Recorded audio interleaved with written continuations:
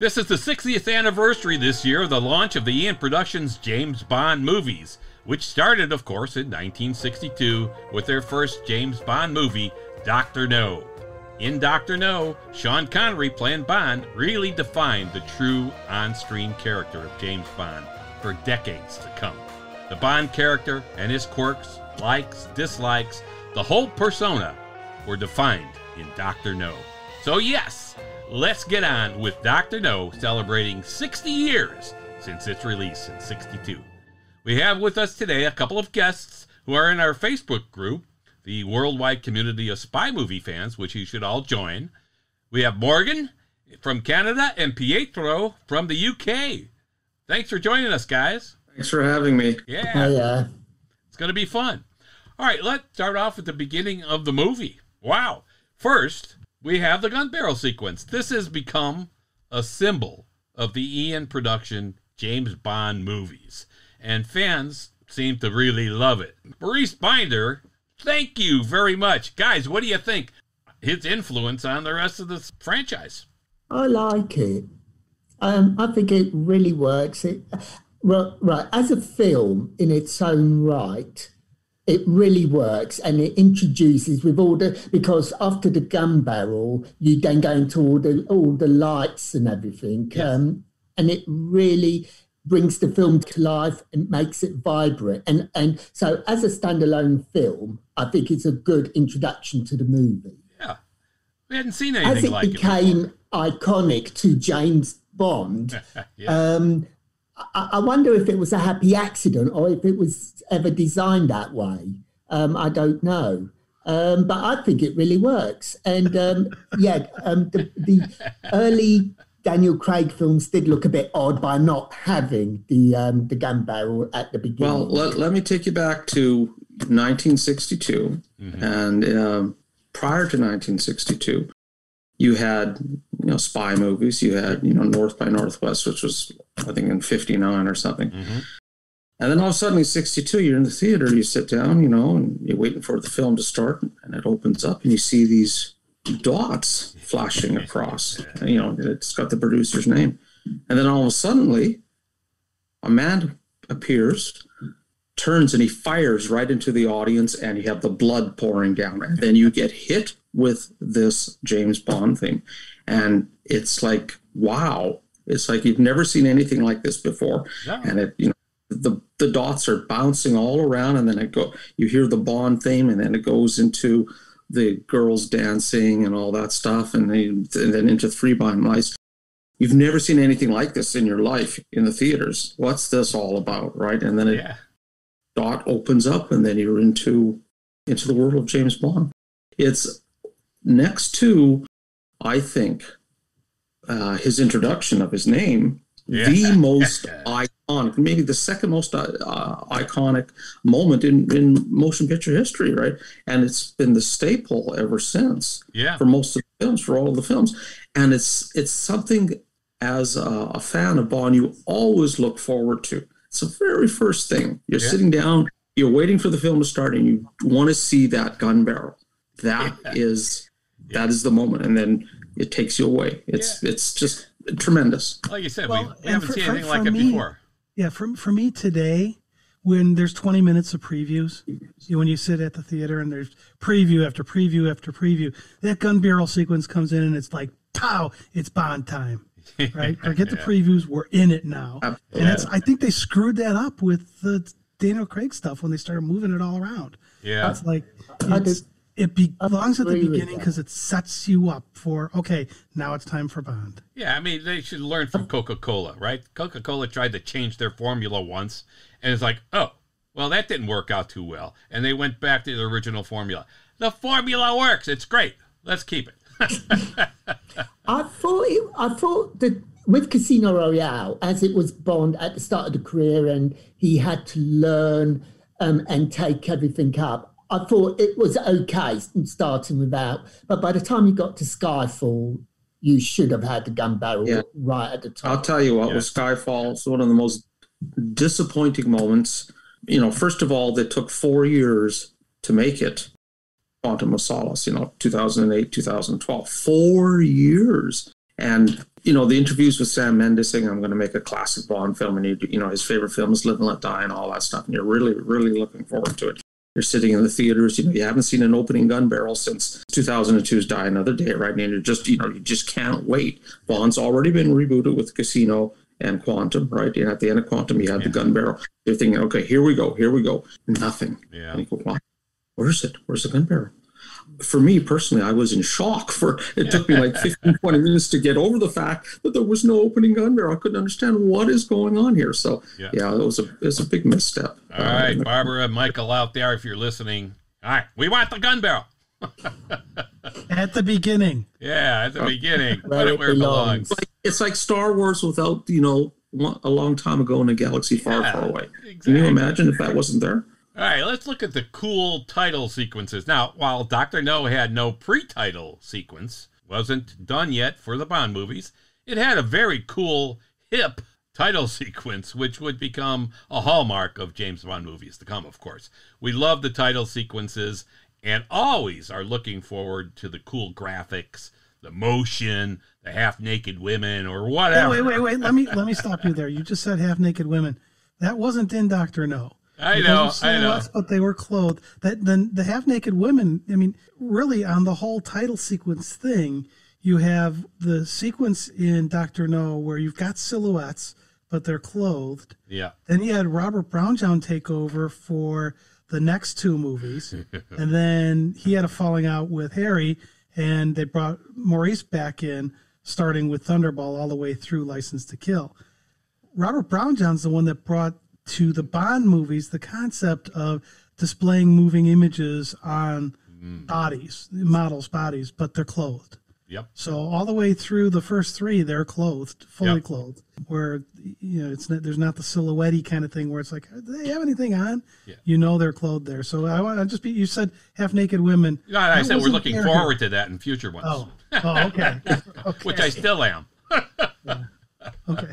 But that whole thing projecting on the on the bodies actually happened accidentally when he saw someone stand in front of the projector when they were doing something, previewing something, and the images were showing on this on this person's body, and that's where he got the idea. It's like, oh, that's kind of cool. We'll do that. Yeah, that was that was Robert Brownjohn, and Yeah, he, Robert that actually. Brownjohn.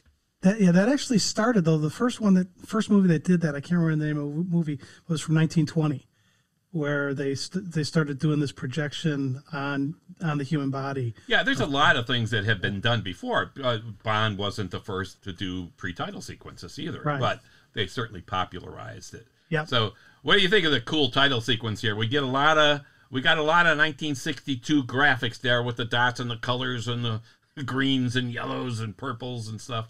What do you I, think? I guys? liked it. I thought it was great. I mean, it's the first film, right? Yeah, yeah. Right. They didn't know what they had, right? So they just did the best they could. And you got the dancers Yeah. and all that stuff, you know, and the and then it goes into the three blind mice and Yes. all that stuff.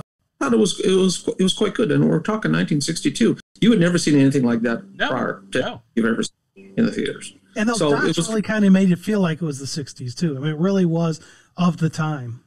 It was, and they've they've done that often with their movies. They've brought in the you know the, the local talent for for title songs and and other things too. So you kind of get the feel of the period. Certainly, Live and Let Die, and so on. So there, there's a lot of cool stuff that that they did. And again, the concept of them doing stuff we haven't seen before. That's the part here that's going to continue forever with the Bond series, and had continues for these 60 years.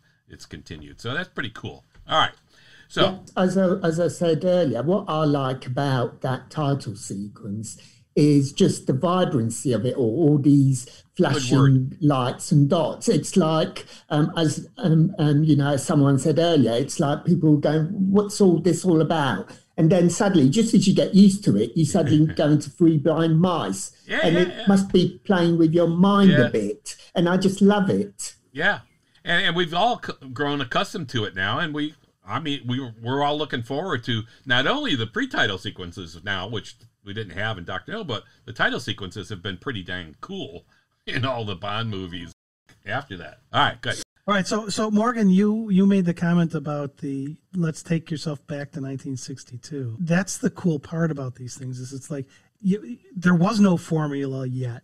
They're building the formula here, and you're sitting there and like you say, you're seeing this stuff and it's like, what the heck are they doing? All right, just a second. Eric is joining us from Texas in the U.S. So thanks, Eric. Welcome. All right, now that Eric's with us, we're going to get back to this. We talked about the title sequence and so on, and and this is the first outing for Eon Productions, Danjaq, on its first James Bond movie, and there's no pre-title sequence in Doctor No, as we said, but the lack of it has influenced the future Bond movies, which always included and made other movies included as well. No question that Bond not was not the first for pre-title sequences, but man did they popularize it in a big way and really a dramatic way and made other movies and movie franchises go along with the pre-titles. Right. All right. Now, the music. I think uh, we talked a little bit, Morgan talked a little bit about the music as it's coming on. And of course, this iconic music that we have grown to love is terrific. And I mean, really, could it be any better? I don't think it could be any better. I think it's just absolutely perfect. The Bond theme music is something that we just love hearing throughout the movie as they do the different variations of it. The title song has also become a big thing. Dr. No had no title song with words, just the funky music. Play that funky music. But the lack of the title, again, the lack of it here influences the future Bond movies, like Monty Norman and John Barry, who scored, John Barry scored, I think, 11 Bond movies. They had a Mm-hmm. tremendous impact on the Bond music. So, Yeah, I'm gonna I'm gonna stop you there again, Dan, because you, you made the you made the comment that you know there's no there's no words to the title sequence. Well, this title sequence actually has two songs in it, and to me, it's the second part of it, the three blind mice, yeah. that sets up the way title sequences go in the future. Okay. So you've got you've got the introduction of the James Bond theme song, Yeah. but then in future movies, that's not used as the title sequence All right. Right. right that's used for james bond stuff during the during the movies but the title sequence itself gets its own song so the second half of the title sequence is three blind mice Yeah. Then they it's got done words. by by uh, byron lee and the dragonaires Yeah. right so it does it does move into that and it does set the stage for how title sequences are going to go in the future i think Yeah. No, I agree. There you go. That's good. Point. Yeah. So we got the music. Any other comments on the music and stuff? Uh, Yeah, the, the only other comment I'd make about the music is the music is really important because over half of the Academy Awards Hmm. that the Bond series has won has been for music. yeah. So it's it's it's really the thing that seems to get recognized out there more than any of the other production stuff that gets done. And they use that Bond theme pretty heavily in the first part of the film. You know, Bond's kind of out of the elevator. Yeah. Yeah. You know, he's the plane's landing and all that stuff, and he's he's, he's at the airport and he's walking around, right? So it's in the background, it's there, and it really establishes a link between that theme and this character of James Bond. And you know, it's you know they, they set the uh, the template right there. Anytime you see Bond, you could hear that Bond theme because it's James Bond's theme, and it's a fantastic. Isn't it? Yeah. It's like it's and just and I- it's it's goose pump it's goose pimple bumps on your arm when you think about it right at least i do right you can probably probably can't see them on camera anyway um it's it's tremendous it's just like it's oh my god uh, uh, vic flick you know he deserves all the credit for coming up with that that guitar theme right Yeah. Yeah. Just fabulous. right and it's been morphed a bit and tweaked and all that stuff down the road Yeah. um, but it's incredible and you it cannot be overstated uh, Well, and and like the you said, importance of that that that song that was established in Doctor No, that music. Yeah. You're saying, you know, they play the theme when you see Bond. They've done that with some other characters then throughout, like Diamonds, right? Wint and Kidd got their own music. Yeah. Yeah. Yeah, yeah. It's Well, kind they've of cool done- when they they've- do that. It's They've like they done stuff like that Do, in do, do, do, Yeah, they've done stuff like that in many shows and movies. I mean, even uh, Andy Griffith show, Barney had his own. Barney Fife, he had his own music. you know, so I mean, they've done this for a long time, but it's pretty cool. And how they use music in the Bond movies. I mean, geez, if you stripped out the music and watched the movie, it certainly would not be as rich as as watching it with the music and hearing the music because, like you said, Morgan, you just identify. It's like an advertising campaign with certain musics and jingles that you identify with the product. That's what we do. We identify it with Bond whenever we hear it, and boom, you gotta love it. Anything else? Well, actually, uh, going back on, um, I can't remember the person's name who was talking earlier about about the music giving you, you know, goosebumps. Uh, Morgan, yeah, it's Morgan. Yeah. Okay. Um, I feel the same way uh, because, uh, you know, um, through YouTube, I was able to get as much music as possible from all the Bond films, from Doctor No all the way to No Time to Die. Wow. So it's like a playlist of 75 songs that I have from all the Bond movies. That's like my my my inspiration when I have to get up to go to work in the morning, getting ready in the bathroom. And my, my wife is sick and tired of listening to Bond songs. like like, can you play something else? Does it have to be the same music all the time? I said, inspirational. I said, even in my, even in the car, I had uh, the theme song from On Her Majesty's Secret Service. You know, I love playing that when I'm on the road. Yeah, I, I, love, I love playing that song when I'm on the road. It's just, it inspires you. And, um, you know, the, it's not just the music that inspires you. I mean, it's, it's, it's everything, you know, like clothing, like how many other movies or characters of a movie do you know of well maybe like star wars could be different but i mean like james bond movies people dress up in tuxedos yeah. just to go watch the movie and i thought that was just during the goldfinger thunderball days but i mean even during the daniel craig period yeah people were wearing tuxedos going to watch his movies and other movies don't have that type of effect yeah um, you know unless you're doing cosplay for marvel or dc or star wars right, right, but yeah, uh, yeah you got a Comic Con yeah, or something. It's terrific how they've had an impact virtually in everything. And like you said, with the clothing, I mean, just the clothes he wore. I mean, you're looking at these Doctor No for the first time, and you're seeing this guy who's impeccably dressed.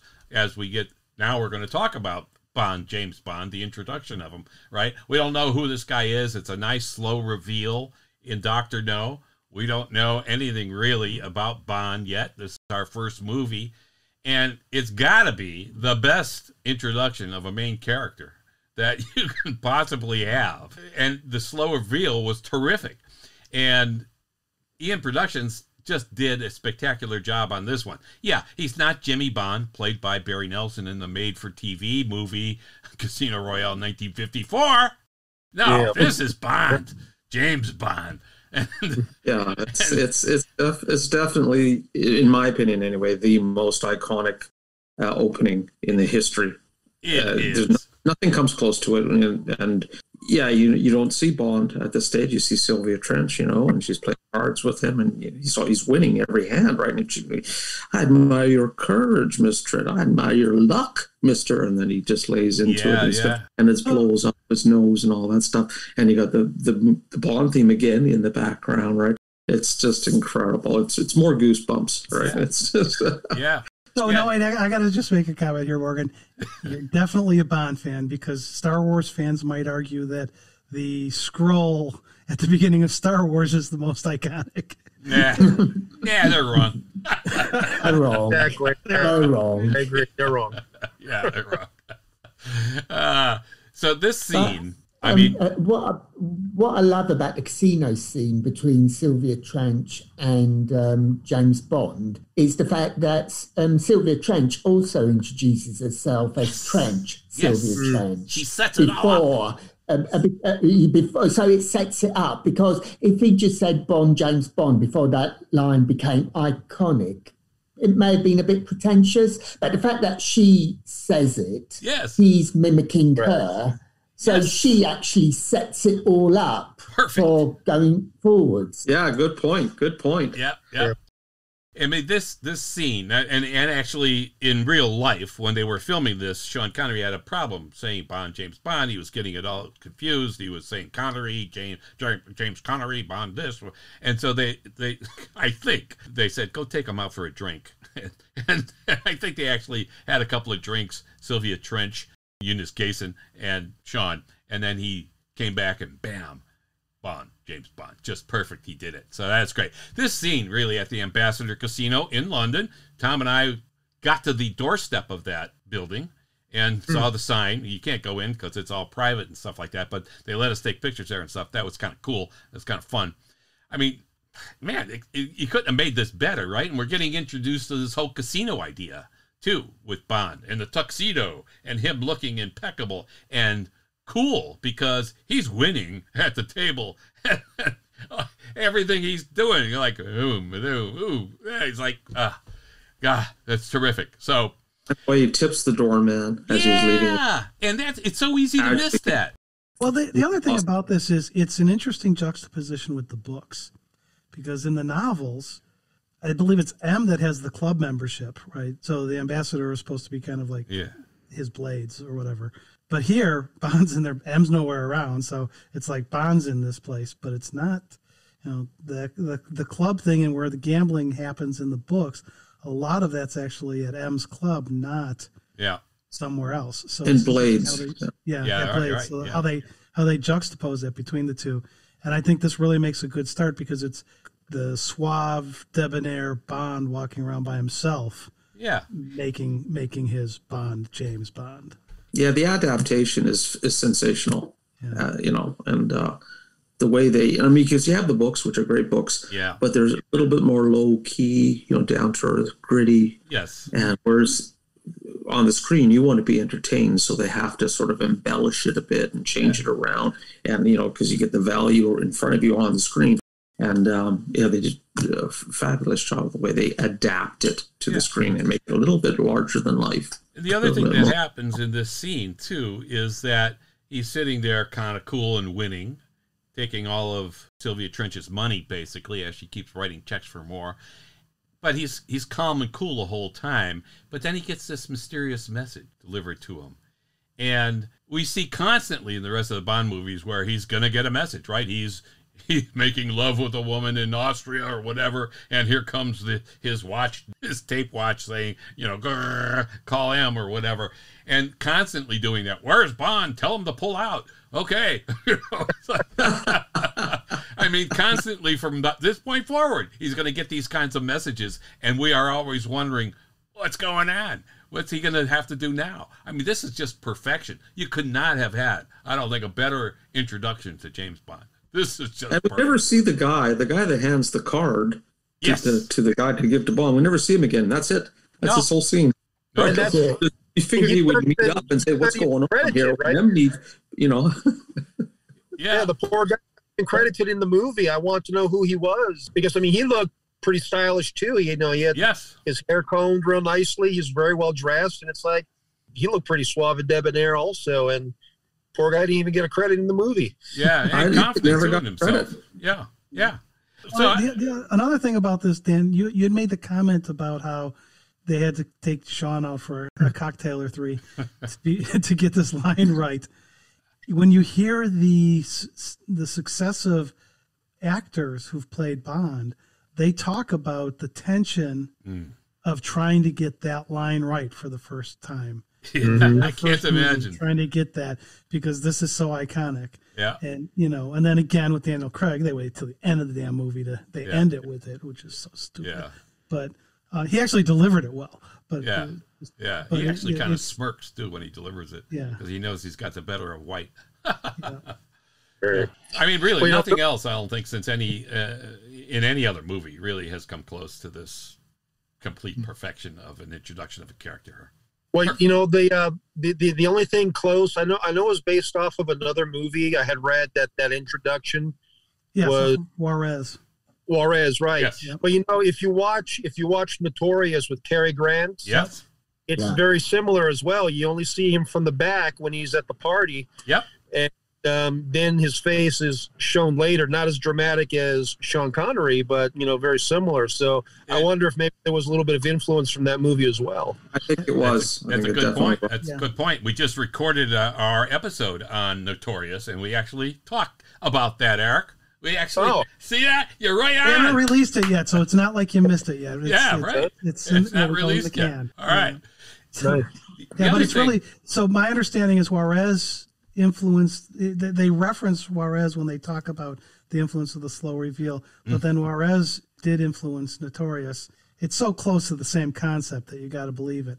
And the other thing with this is, since Fleming was a big smoker, Bond smoking a cigarette as he's doing that, and when they move over to George Lazenby, he's he lights a cigarette up in as they're starting to do his slow reveal. Mm-hmm. Um, they get away from that going forward, but it's it's kind of interesting how that uh, Yeah, the that was something Bonds they were trying to bring forward, but then with the way society has changed, they stopped.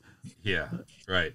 Exactly. But the slow reveal was was perfect. And then the other thing is the introduction of the other main characters that we're going to see in many more James Bond movies and the introduction of minor characters who play big roles. So, first we'll talk about of course the main characters. We- We've got M, of course, and Moneypenny, uh, Boothroyd who becomes Q basically, and Felix Leiter we see for the first time here in Doctor No and we're going to see him obviously in more Bond films, and uh, his CIA friend for life, basically, uh, you know, literally till the end.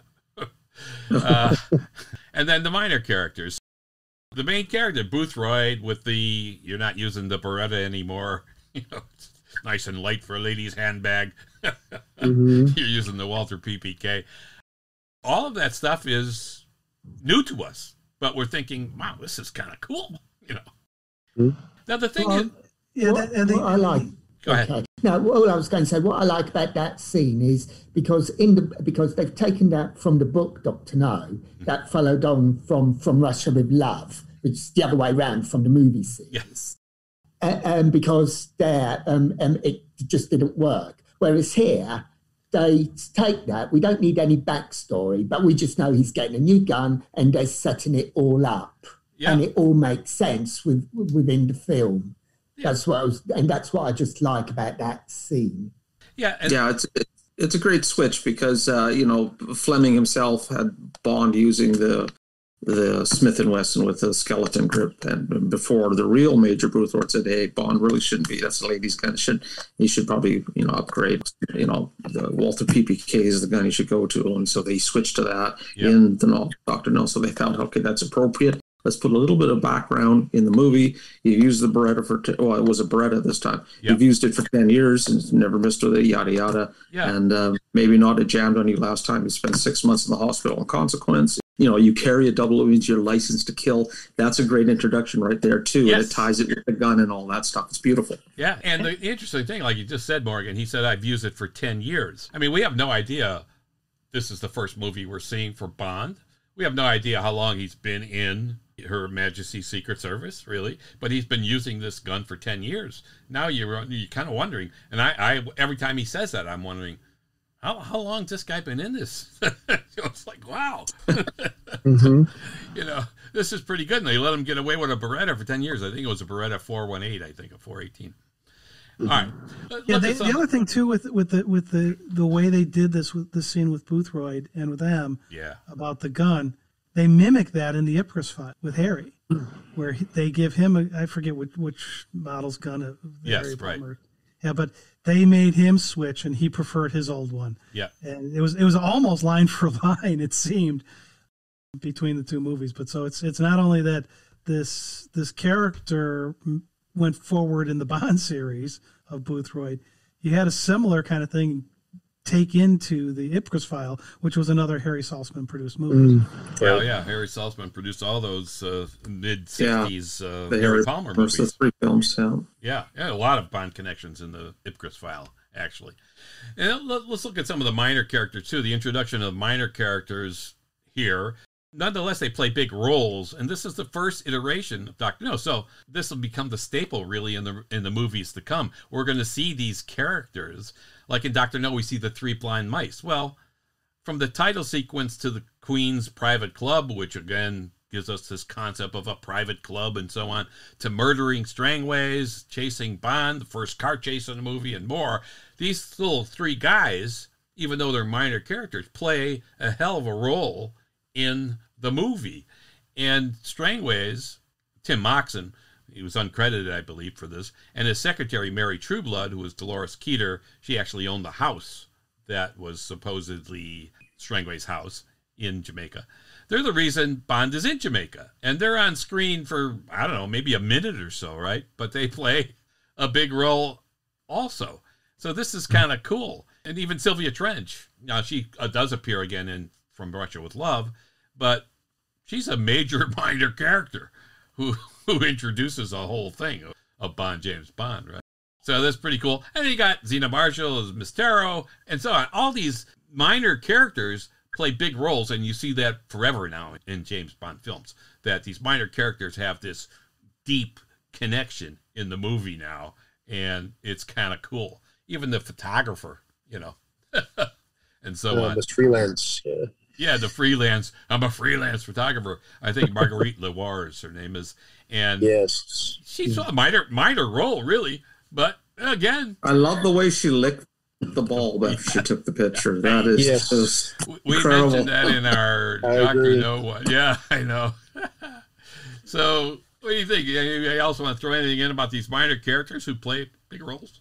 well. Bernard Lee, first of all, perfect casting as M. Absolutely love him. The best M ever, no question, hands down. No, no competition there. Yeah.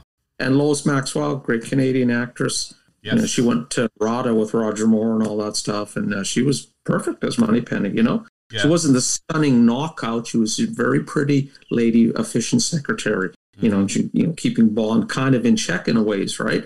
You know, and the interplay between the two it was fun. It was light. It was entertaining. Yeah. And of course, you know, Q. Well, Major Boothroyd in the in, in Doctor No, there wasn't really much interplay. It wasn't until the next film that we started that started to see that. And uh, so no those are are iconic characters because they they're bonds match. They're with him right? They're his supporting cast around him. Yep. so those those players are very very important to building a uh, continuity throughout the rest of the films right you of course you see bond but you want to see m you want to see moneypenny Yeah. you want to see Q. Every time Desmond Llewellyn came on screen, man, it just made me smile because I just lo- I loved it every time he appeared on screen because he was just a terrific Q. Now you mentioned Bernard Lee, right? I think you mentioned. yeah Yeah, I mean, I was just Bernard. watching uh, Secret Agent, which is Danger Man Secret Agent with uh, Patrick McGoohan. Bernard Lee was in that as his boss, kind of playing an M character. This was like the third season, like one of the last shows. So it's like, hey, it's M, and he was playing an M type character in that in that show. That was pretty cool. That's a great series, by the way. I do have one pet peeve about Bernard Lee, is that he appeared as uh, in um, Operation Kid Brother, with, Uh, and Lois I, and Maxwell so did did Maxwell. Both of them were in that movie, and uh, that pissed off Sean Connery so so much that first of all that they would make put his his brother in a in a Bond in a Bond spoof like that, Yeah, yeah, and. I guess as an actor, you need the money, you want to keep working and all that stuff. But I yeah, yeah. oh wait a minute i'm m in the real bond series with Yeah. the real james bond i'm not going to do this movie but they did, he did it anyway and same with lois maxwell Yeah. so I'm a bit All I wanted to kind I want to kind of go back to the minor characters part. Yeah. So we have the we have the minor recurring characters, which are the Q and the M and stuff. But then, like you were talking about these other minor characters who played big roles. If you think about most movies you can think through, what other movies you sit there and say, "Yeah, I remember that girl. She licked the light bulbs." Now the reason she did that was for conductivity. It was actually a fairly common practice Yeah, back then with those with the bulbs. yeah. But But it looked sexual. It what other sexy. what other movie do you think of where you can name six other characters that were on screen for less than a minute Yeah, but had an impact? yeah. This series does do it. that. Yeah, you can't. Yeah. I mean, even a great movie most like movies North by. Northwest, it'd be hard to come up with two or three others, right? It's like, yeah, oh, and do it right, Superman. Superman, yeah, yes. super, oh. Okay. Yes. Superman. Yeah. yeah, Superman. That's good. Yep. We also get introduced here to MI6 operations, of course, and we see them for the first time here trying to reestablish contact here with their operatives in Jamaica, which is the reason Bond is going down to Jamaica. And we see M's office, and man, that's pretty cool. And, and how well appointed it is. All of these things are for the first time we're seeing here. And of course, we're going to see it over and over again. M even brings his office on the Living Daylights on the plane. if you remember, Yeah. he's got statuettes and all that kind of stuff there. It's like, oh man, that's really okay. M. yeah you're seeing them on the big screen as they're re-releasing them Yes, I've been watching. Yeah. lucky. Oh, Bugger. and Doctor we No don't have that here in canada yet Uh, that that setup hasn't arrived and i'm just so best off that it's not. It's there in the UK where they're you know re-releasing these all, but they're not doing it over here yet. Yeah. You Well, no. I'd, I'd be I'd be annoyed as well um, because Doctor No on the big screen is really. I mean, they're all really good, but I think Doctor No and Live and Let Die, out of all the ones that I've seen, they've really better than they are on TV. You know, Oh my god! yeah, they've it's I really gone up. a They've really gone up a notch. Yes. Yeah. Yeah. So is uh, on Her Majesty's Secret Service. That's a fabulous one on the big screen. That's a great one. Yeah, actually, uh, That's la- franchise. last year in fe- uh, February last year, the Cinemark theaters, uh, last year in February, they uh, played Doctor No on the big screen, and even though my son and I have seen it hundreds of times, we still saw it anyway, and it, it, it's such a big difference. Yeah. It's it's such. I mean, it, just seeing it larger than life on the big screen, it's Yeah. enjoyable experience. So And that's really what, what Cubby and Saltzman did. I mean, they wanted, they, that's what they said. They're going to spend a lot of money or they're going to put it all on the screen. And they do. And everything mm-hmm. is so fabulous with the way they do it. So now we're talking about on screen. So we could talk about James Bond's on screen character here being developed for the first time here in Doctor No. Of course, there's always differences between the novels that Ian Fleming wrote and the movies. And there's connections and disconnections sometimes. But with Sean Connery now, we see the on screen James Bond being developed. He's cocky, self assured, his attitude, winning at the casino, and so on. Uh, his interaction with Sylvia Trench after they leave the table, where he's like, Yeah, call me. Here's my card. You know, my number's on the card. You know, There you go. It's like, okay, this guy's cool. And, and all of that, the whole concept tuxedos, the gambling, the women, everything, all really packed right up front in that movie. And these are the kinds of things now that will develop over all the rest of the movies. And he never gets flustered there, right? Although, uh, he, he, I mean, James Bond does get get afraid and and so on in other parts of movies and so on. But here you see him again, just confident and cocky, even at the government house when he's with Miss Taro. You know, like uh, she's got the afternoon off. Show me around the town. Well, maybe, uh, maybe they'll see me at my hotel. Maybe. Well, maybe I will. Maybe at three. Yeah, maybe. It's like the guy's just cool. And here we see it developing all now. Now we're thinking we're going to expect this forever, and we kind of get that. Hmm. Well, you know, from from my understanding, you know, from from what I've read, and I'm sure all of you have read it as well, was that you know they were saying that before Doctor No, you know, a lot of the British movies were these kitchen sink dramas, these black and whites, you know, that you know told good stories, but it wasn't larger than life like James Bond. Mm. All of a sudden, you get this big, colorful movie with these interesting characters, and they're traveling to different parts of the world. Well, they only went to Jamaica but um, you know, I, I think for audiences back in 1962, that was a big deal. That was an eye opener. That was like, oh my God, this is fantastic, something they've never seen before. So I think that's also part of the allure of why James Bond just became so popular was because it was so different from anything that audiences, whether it was from the UK or the US or Canada, they've never seen anything like that Yeah. before. Right. And you know, I, d- I would agree with that um, because Yeah. at, at the time, you know, um, because it's only been what about 16, 17 years after the Second World War. Um, rationing had only been had only stopped about seven years earlier. So going just to Fr- from the UK, this is going to France was go- was going to cost a lot. As for going to Jamaica, well, forget it. You know, it, it's um, it's like going to the moon today, but but um, but seeing it on the big screen, Yes. um, you know, it just opened everything up, and that's the reason why I think they put the James Bond theme in um, at the Jamaican airport, just to sh- because it's massive. yeah. It's a massive scene. Yeah, absolutely. Yeah, I And like mean, you it- said, it uh, takes you away to tropical paradises and things that the audiences are not familiar with, and so it's that escapism for Yeah. two hours. It just love it. yeah, you weren't jet setting around in 1962, the average person. So you're you're not seeing Jamaica. You're not seeing these exotic places. So yeah, that's true. That's a good point. And then mm. we're developing his on-screen character, and we see the quips and so on and so on, eh, like he's talking to to Doctor No, who doesn't really appear until like an hour and 24 minutes into the movie, which is kind of like wow, it's kind of cool. Joseph Wiseman did such a great job with such little screen time.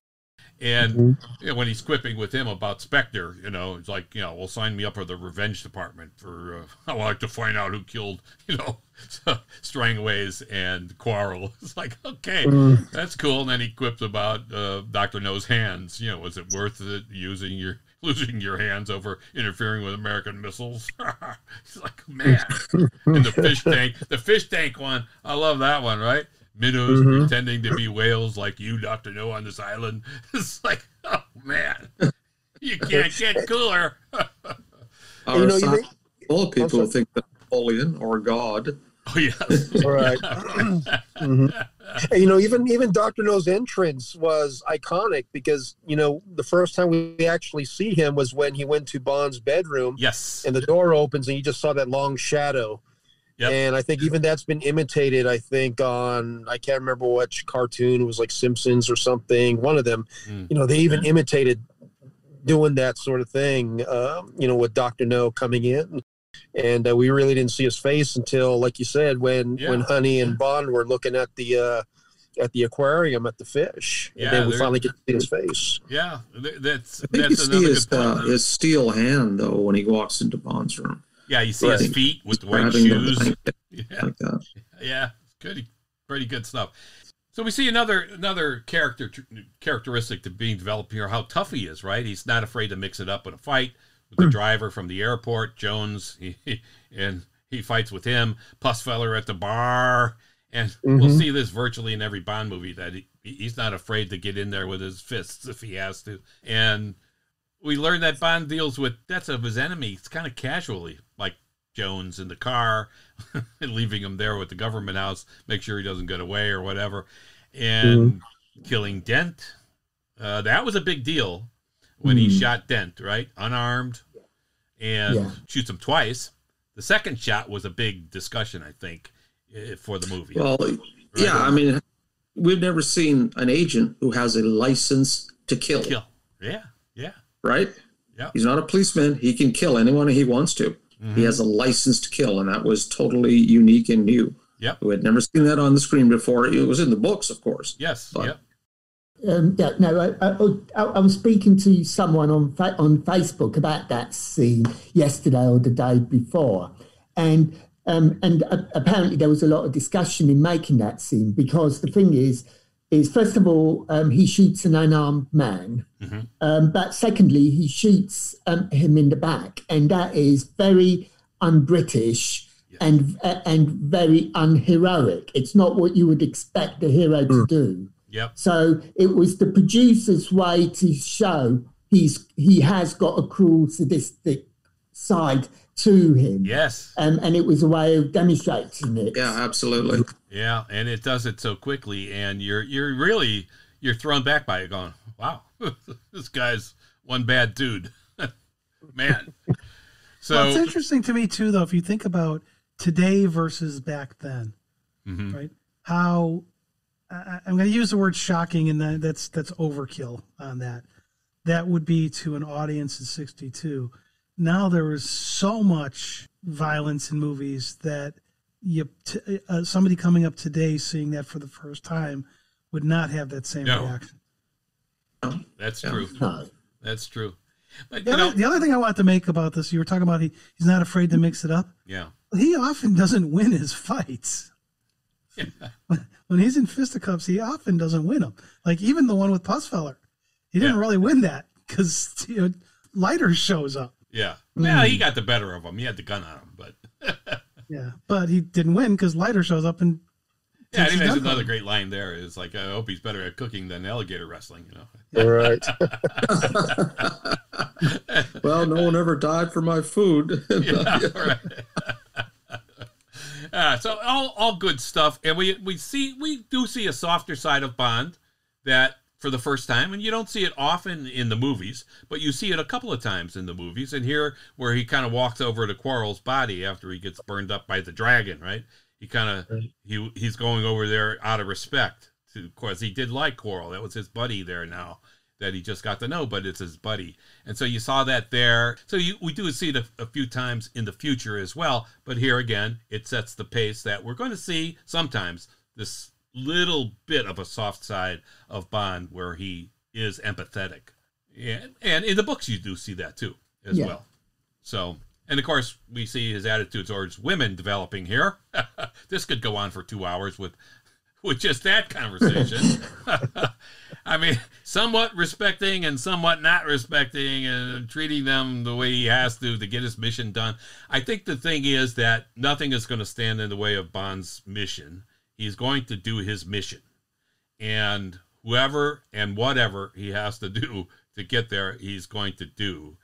And we're going to have a, a video coming out on that as well.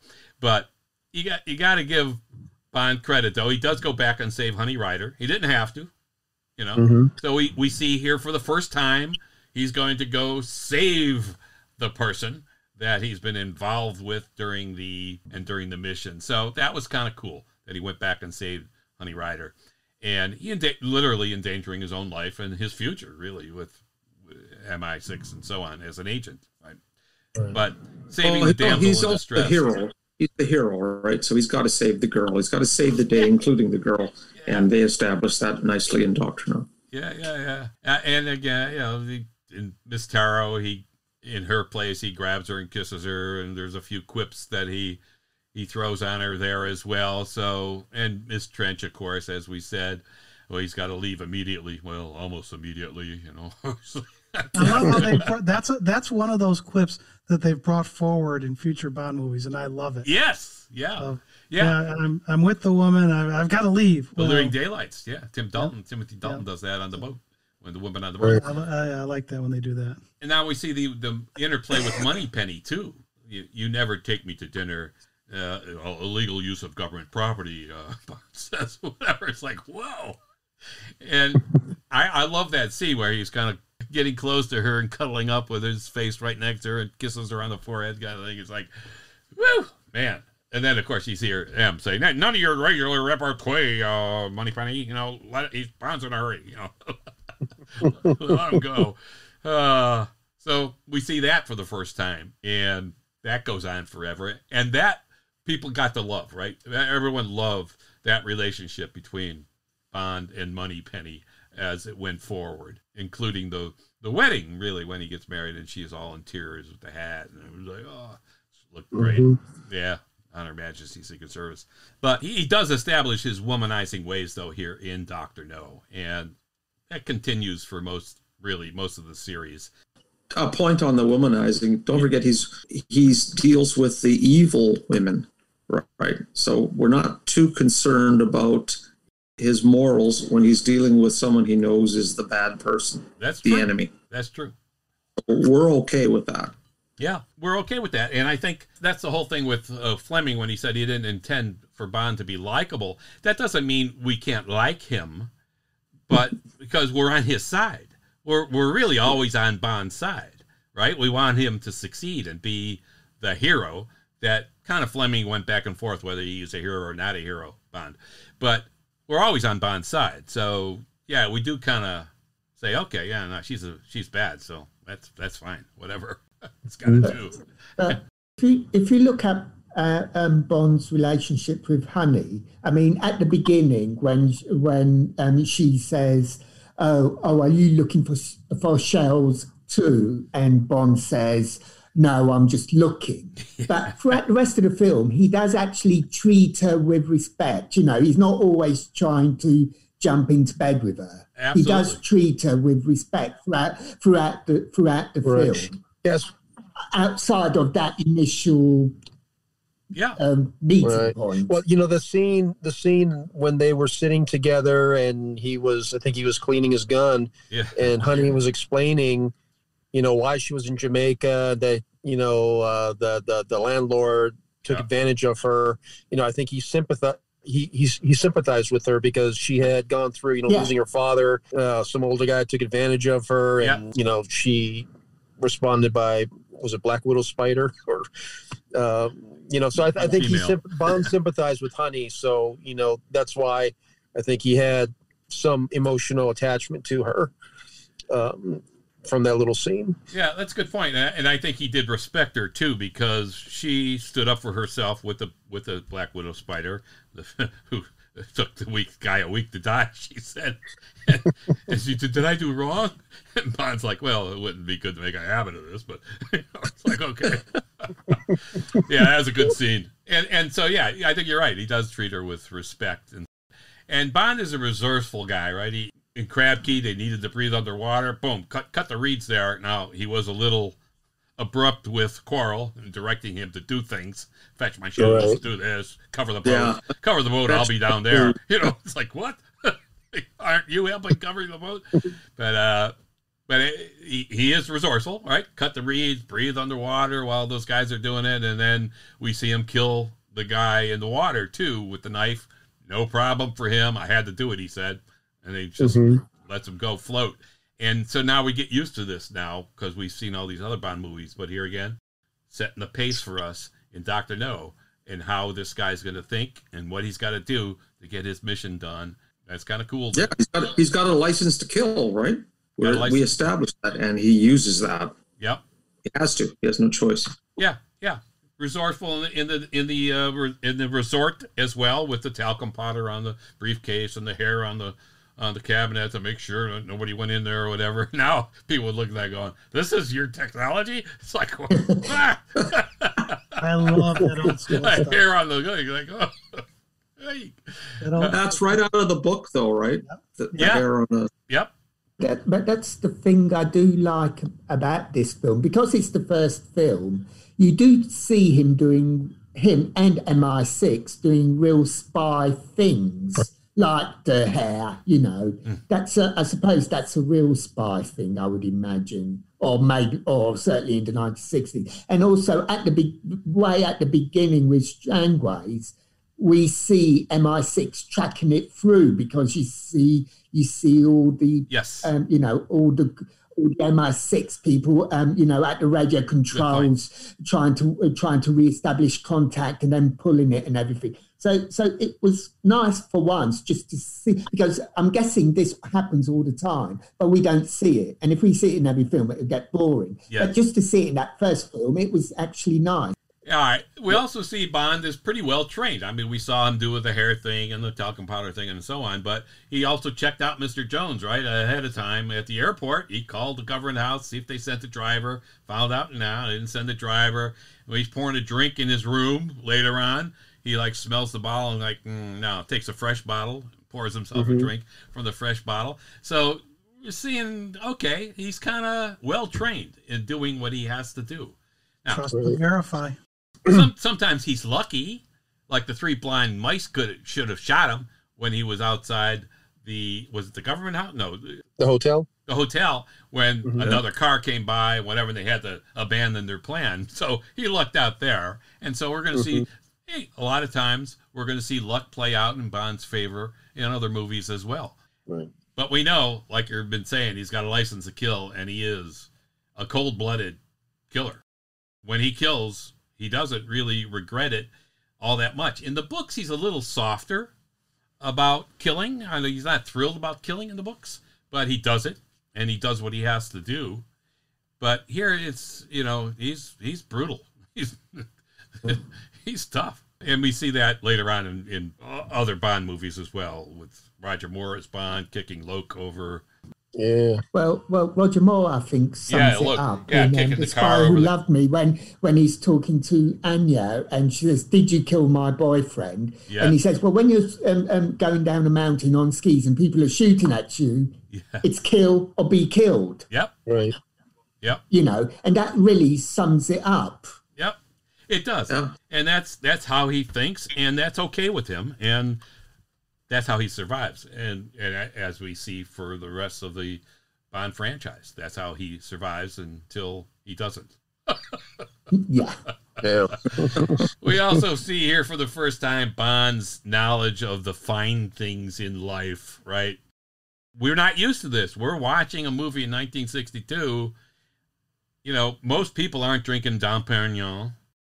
And I love it when he's going to crack the guard over the head with a bottle of 56. I think it was 56 Dom Perignon. And, and Dr. No says, that's a 1956 Dom Perignon, you know, I wouldn't be doing that. It'd be a pity to waste it. Com- yeah, yeah and Bond calmly sits down and says, "I prefer the 53 myself." It's like mm-hmm. I think it was a 55 that I had. He's I prefer the 53 myself. It's like wow, come on. so we're we're getting this feeling now too, and the same thing with the vodka martinis now introduced for us. He's gotten it shaken, not stirred with a lemon peel. It's like okay, man, all of these things that are iconic are all happening here for the first mm-hmm. time. But if, ahead, if on, on, this, if again, as we were saying earlier, if you go back to 1962, UK just come out five years earlier, having come out of rationing, you know, a Dom Perignon um, would have been, you know, way out of people's reach. Yes. Um, you know, vodka martinis would have been. And so these, even though they might seem like you just go to a pub and order a vodka martini normally today, and it doesn't seem a big deal, it probably was yes. a big deal, as big as going to Jamaica, probably. I... And I'm sure any historian watching this might now correct me. Right. yeah, that's true. And then we finally see the establishing tropes that we're going to see over and over again, right? The Walther PPK, exotic locations, Bond girls, of course, we're going to see and everything, and the very first car chase.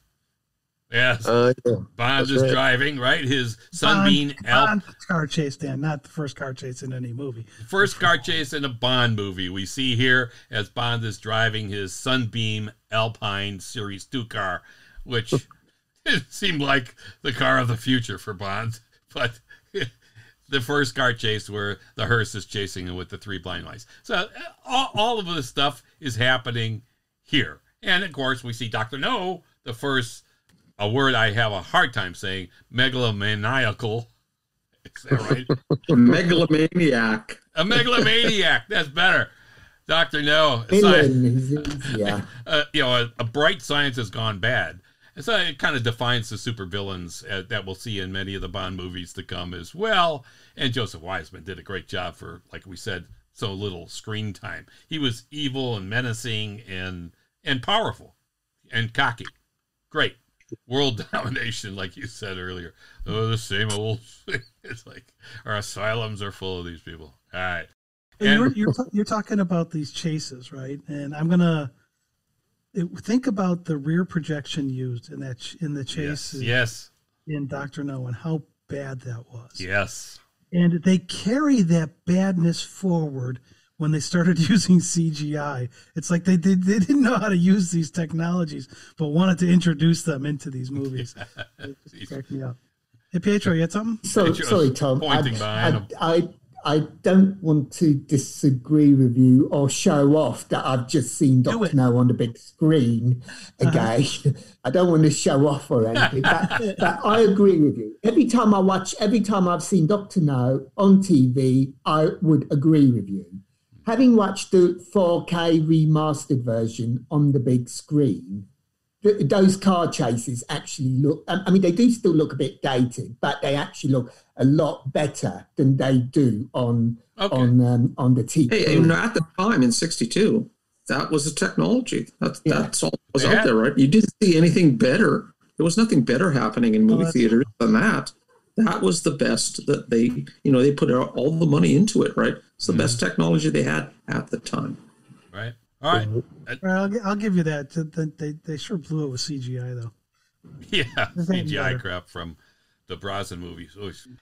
Another trope we see is, of course, sex and violence becoming the standard in previous movies because of motion picture standards and laws and rules and so on. You didn't see that kind of stuff like the 39 Steps, Secret Agent, Man Who Knew Too Much, North by Northwest, Silent M. All these things were like they, were they were softened. The, the risque stuff was in the background basically. But Dr. No kind of took a new approach here and brought it forward on screen and certainly the violence and a little bit in the honey rider thing at the end when they're in the little boat there together it's kind of fun so that's another big deal and of course the sets the huge sets this is the standard now for Bond movies, right? Here we see Mm-hmm. Doctor No's lair for the first time, and it's a huge, fabulous set. Yeah, the scene where Dent comes during the day, violating the strictest rules, and he's sitting in that room, and there's just a chair in the corner, nothing else. You don't see anything else, and you see the the oval shaped Yes. grate in the ceiling, right? It- and it just looks wow. It's, it's like super, like supernatural. Not even not supernatural. Math's not the right word, but Yeah, it's just so uh, amazing. And then you hear the voice coming in the background, Yeah. right? And it's just whoa, just yeah. The sets. Ken Adam. Ken Oh Adam. my God, he did a fabulous job, and he started in Doctor No. yeah, and, all, and all Peter terrific. Lamont carried that forward too. I mean, it's it's they've really done a good job with that whole set concept. Oh yeah, Mhm. yeah. The the volcano in uh, You Only Live Twice, and every everything has been like they Yeah. said. Cubby and Saltzman said, "Hey, leave it on He the screen." quite the imagination. yeah, Just incredible. even even the Duke of Wellington portrait in Doctor No's lair. I mean, which had really been stolen from the, the National Gallery a few years before. It's like. Doctor No's got it. It's like oh, that was like that was cool. That was classic. Did they ever find the painting? Was that painting ever Yes. recovered? Yes. That- yeah, oh, it's was. there now. Okay. Tom and I saw it at the in the National Gallery a few years ago. All right, so we finally we see, uh, of course, the introduction of humor too in in the Bond movies, and Sean Connery had some quips and so on, and but they they got a little funnier with, of course, Roger Moore and uh, etc. But we do see this introduction is part of his persona in Bond, and then gadgets. Now you didn't see very many gadgets in Doctor No. I mean, he had the Geiger counter basically, and that Mhm. was pretty much it. You didn't see much, but we're going to see gadgets obviously as they go forward as that has changed. So we got that. I think Eric and P- Pietro mentioned the exotic locations and Morgan as well. So you got all that going on, and a time where people didn't travel like that. So Right. and then we hear of Spectre for the first time. Now, we're not going to hear about it for some other parts of the Bond franchise when they didn't have the rights to it, but it does raise its ugly head once again towards the end of the franchise's uh, last couple of movies here. So, Mhm. and then we got great poster art. Uh, a lot of movies had great poster art, so you can't say Bond was different in that respect, but you're going to see great poster stuff and great artwork from the Bond franchise from that point forward as well. Really good stuff. Yes. And the a point on Spectre was very clever of the producers uh, to put that into Do- into Doctor No. You know, originally they wanted to make Thunderballs the first film, but it was in litigation, Yes. so they couldn't do it. But they used Spectre wisely, knowing that they would be using that name future Bond mm-hmm. films. So they made Doctor No a member of Spectre. Yep. So introducing that was very, very smart. Yeah, yeah, that was great. And that was our first introduction to it, and that's kind of cool. And then we have the ending, of course, with Bond with the girl, and oftentimes in a boat or a floating craft. Right. How many movies is he in? Oh, yeah. Especially a yellow floating rubber craft. that happens a lot. But here he is with Honey Rider at the end with her. And again, we see that for the first time here in Dr. No. All right. So I think we've covered a lot of how Dr. No influenced the rest of the Bond franchise here. Oh, just a little bit of trivia I wanted to get in there about uh, the casino scene. If you notice in Doctor No, Bond is sitting in uh, seat number six, and Trench is in seat number eleven. In On Her Majesty's Secret Service, Bond is in seat number six, and when uh, Diana Rigg, Huh? Tracy, is over, she's bending over number eleven. Oh, So the oh. six and the eleven positions oh, at the oh, back there you row table, chemin de Fer are not know used in those two films. So we'll look for it. That's pretty good.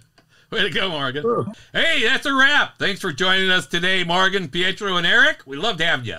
Thank you for inviting us. You bet. Thank you. I just want to say you guys do a fantastic job. Absolutely love it. You guys, Oh, thanks, Morgan. you guys are awesome. Yes, it's been it's been fun. Yeah, I great. thoroughly enjoyed it. Great talking to you guys about this. Yeah, You guys are- terrific. My pleasure. Sure. I Awesome. see you again, Tom. Good to see you too. Yeah. This has been Dan Silvestri And Tom Pizzato. of SpyMovieNavigator.com and our show, Cracking the Code of Spy Movies. Please subscribe to our show in your favorite podcast app and on YouTube. where we have some cool videos and visual podcasts. Follow us on Facebook, Twitter, and Instagram too. Thanks for listening. We appreciate it.